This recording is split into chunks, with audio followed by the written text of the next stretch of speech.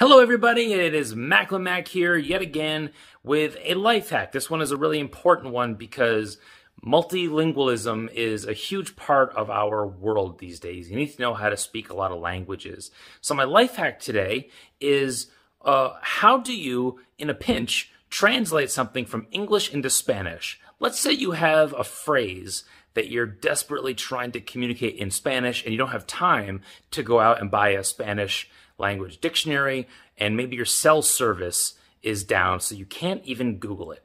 I'm going to use as an example, let's say I need to translate the phrase nothing to lose into Spanish. Well, check around your home. You'd be surprised what you might find. In fact, look, I've got this little tin uh, miniature movie poster up here, and it's in Spanish. So all you, uh, oh, this one's in English, so I'm not sure.